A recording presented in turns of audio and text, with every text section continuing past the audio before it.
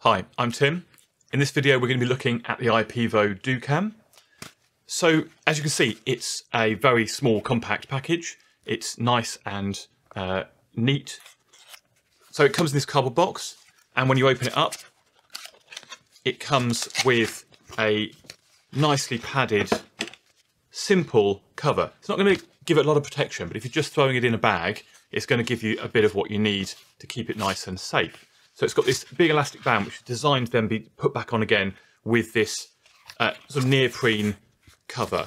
In the, the box here comes with some instructions in the center there. What this is telling us is just how to get started. And the key thing about the DoCam is it's really simple to use, which means that when you're picking it up and moving around and you want to get it set up again, it takes almost no time to get organized and get started with it. The DoCam itself is 220 millimeters long by 63 millimeters wide by 22 millimeters deep. So it's really nice and compact and it weighs a bit over 330 grams. So really easy and light to carry around. But in this package, we've got a really powerful full visualizer. So it's got a full 4K resolution, um, lots of pixels uh, in there to use.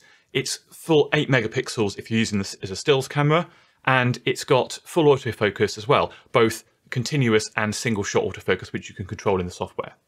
The maximum capture area will nicely capture an A4 piece of paper, and it's got a one meter long cable for connecting it up to the computer. As with all of IPEVO's cameras, this works with Mac and Windows and with Chromebook, and there's separate software for each of those platforms. It comes in two options. You've got this grey one that I've got here, and also the Creators Edition, which comes in a nice bright shade of yellow. When you first pick up the DoCam, what you'll notice is how sturdy and solid it feels. So it's got a really solid metal base at the bottom, which gives a nice bit of weight to it when you're using it, so it's nice and stable, doesn't topple over easily. The rest of the body and the arms are made of a nice, robust plastic, and that has a couple of benefits. First of all, it's light, which means that the weight is all in the bottom, keeps it nice and stable, and also it's really robust and will take a bit of movement and a bit of use. This really feels like you can pack it up uh, every day, move it between wherever you're going. If you use it in a classroom, move it between classrooms. If you're using it for business, it can go in a briefcase um, nicely and be pulled out when you need to without too much worry about it um, getting broken. Everything fits inside nicely and it's really well designed with some nice rubber feet on the bottom, which are going to keep it nice and stable when you're um, on the desk. And also just little things like when where the head clips in, there's a little clip which holds it in place so that it doesn't move around when it's packed up and you can hold it at any angle. It's not going to sort of open up on its own. Once you start unfolding it, which you do by pulling up the little tab that says lift on the end, the hinges have a nice bit of weight and um, stiffness to them. They feel like they're going to be robust, they're going to last. And when you lift it up, it will stay in whatever position you choose to put it in. You've got three points of movement. So you've got the base, hinge here, you've got the hinge at the top, and you've also got the hinge with the head, which means there are four separate parts.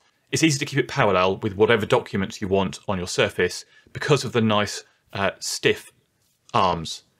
But you've also got plenty of movement. So if you do want to point it up very quickly and use it as a webcam, you can just flip up the screen. There aren't many controls and indicators on here, but you've got the key ones you need. So there's an LED indicator on the front of the camera. Then you've got one button just underneath the lift tab, which is for flipping the image, which is great if you are rotating the, the, visualizer around and most useful if you're going to use it as a webcam. You can point it up quickly, press the flip button, and it will rotate the image to focus on whatever's in front of it rather than whatever is underneath the visualizer. The DoCam doesn't have a microphone, so it's not the ideal thing for a solo webcam, but it works really well if you've got a microphone already. Maybe if you're using a laptop and you want a better quality webcam than the one that's built in, and you've got a microphone in the, in the laptop already, or if you've got a headset microphone or something else, it works brilliantly as a webcam uh, camera because of the quality. Once you've opened up the DoCam, you can then access the cable, which is coiled nicely. As I said, it's one meter long and it's a really robust, um, strong feeling USB cable with a nice connector on the end. So although it's not that long, it's actually really convenient for most of the times you're going to use it because it means that you haven't got loads of cable trailing, trailing around. And if you do need to extend it, it works really well with USB extender. I've tried it with a couple and I had no issues. So if you're using it with a laptop or you're using it with a desktop that's quite close to you, you won't have any issues with the cable length. In a classroom, I found it's really helpful because being able to have a small cable means that winding it up is quick afterwards. So if I need to move around quickly, go to another room, that takes almost no time. There are no visible cables going from the base up to the camera. All the cables are hidden inside the hinges, which makes it nice and neat. And again, when you're folding it down, it means there's no cable sticking out because the main cable is kept neatly between the base and the bottom of the visualizer. The DoCam appears as a USB camera when you plug it into a computer, which means it works automatically with all sorts of software like Zoom, Teams, Google Meet, Skype, for video calling. And if you want to use it for something else, I've used it successfully with OBS Studio, I've used it with Camtasia Recorder, I've used it with lots of other software, and it works brilliantly um, as a straightforward USB camera. But of course, if you use it with IPEVO's visualizer software, you get a lot more options. The IPEVO visualizer software recognizes the DoCam itself, gives it a little image to show the DoCam in the corner, and it gives you lots of options for being able to control things, which on this visualizer you don't have buttons for. But actually, I find that often, because I'm inter interacting with the software anyway when I'm using it, it's more convenient to be able to access those functions within the software anyway. You've got all sorts of options available to you in the software. As well as the flip button on the DoCam itself, in the software you can rotate and flip the image in whatever way you want to. You can control exposure and white balance, and there are loads of focus options as well. You can use a manual focus if you want to control that yourself, and then you can lock the focus so it doesn't move.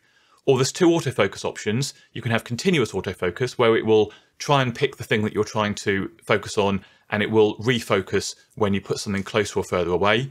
And there's also the single autofocus where you can press a button in the software and it will focus and then it will stay focused on that point. And I find that great if I'm using a flat surface and I want to show pieces of paper and then I can use a single autofocus to lock it onto that piece of paper. And then if I put my hand or a pen or something across it, it doesn't change the focus point. It keeps it where the paper is. So when I'm writing underneath the visualizer, maybe on a whiteboard, it keeps the focus on the text that I'm writing rather than changing focus to my hand. If you want to see more details about the IPEVO visualizer software, I'll link to my video about it up here and in the description. And there's a new 2021 version with a few minor changes, mainly to the way it looks, and I'll be having a video of that coming out soon. So my thoughts about the DoCam. It's a really high quality visualizer, and that's the most important thing with a visualizer is the image quality. It's easy to get it parallel to the surface, and it just works really easily. When you're moving around, whether that's uh, as a business professional or as a teacher, and you need to be able to go between locations, it's very, very quick and easy to pack up and open up when you need to, and it packs down really small and compact to fit in a bag. I think there are some things that could be improved. Obviously, the design means there's only one button on it, and while I think that's a really good decision for the style of visualizer, it does mean you don't have some of the easy access to those controls that you do with other visualizers. And the thing I think I miss most from the visualizer is there's no light included in this one, so you do have to make sure you're in a really well-lit environment when using it. The cable being short isn't a problem because, as I said, you can use an extension if you need to. It is fixed though, so that is a potential point of failure you need to be a little bit careful of because if you did pick it up and wave it around by the cable, it's not going to last that long. But as long as you're sensible, it does feel really robust in use. So I think the DoCam here is a visualizer that actually appeals to more people than some of IPEVO's other cameras. So it's absolutely fantastic for teachers in the classroom, particularly if you're a teacher who needs to move around between rooms because it's very compact and easy to carry. It's great if you're a professional um, and you need a high quality webcam for demonstrating products or showing documents. And as more of us are doing remote meetings, that's a really important thing when we can't physically show things to people. The fact that it packs up very small and particularly that it's nice and flat, it will fit really nicely into a briefcase or a bag, won't take up much space. And it doesn't weigh that much either, at just over 330 grams. It's really easy to have in your bag for just those occasions when you need it. You're not going to notice it most of the time. The software continues to improve and they bring out updates all the time, making it more robust and more stable. I think that adds to the utility of the product, makes it much more usable for lots of different creative people and also business people and teachers. If this has been a useful video to you, please hit that like button. It really helps let YouTube know this was a useful video and more people should see it, and it helps support the channel as well. Do check out some of my other videos about IPEVO visualizers and their software. The links all in the description below. Thanks for watching.